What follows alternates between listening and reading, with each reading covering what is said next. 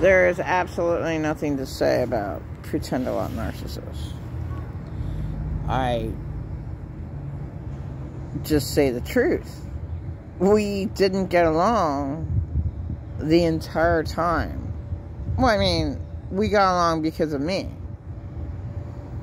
He completely was one of my worst abusers.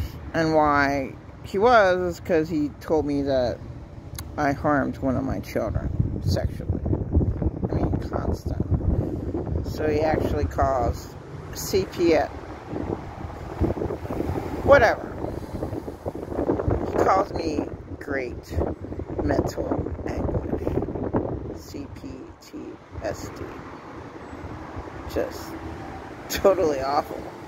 Just a, a nightmare. Just, just, I'm not allowed to use the anything in his place whatsoever at all. I did not touch a thing. That's why I lived in my husband's car. My husband was in jail.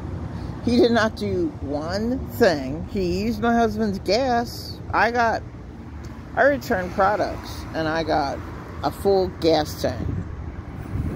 That whole gas tank was used because of him. Because, oh, he liked to drive Jim's car.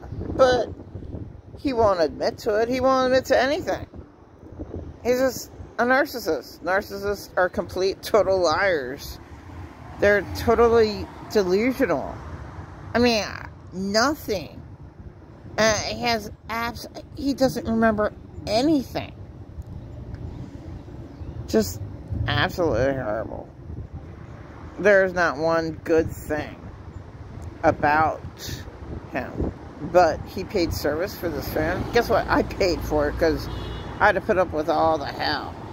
I mean, he paid for um, his God, this person that he didn't have to pay $2,000 rent, but I'm living there and I he he never ever had gas in his car. We never went anywhere. We never did anything. We I, I mean, uh, just a complete total nightmare.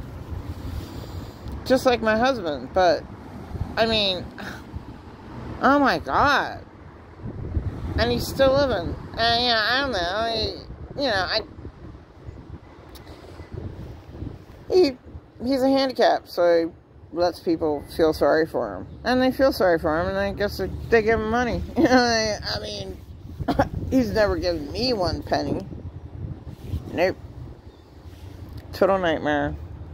Complete, total insane person that I had to deal with. Just, there's nothing good about him at all.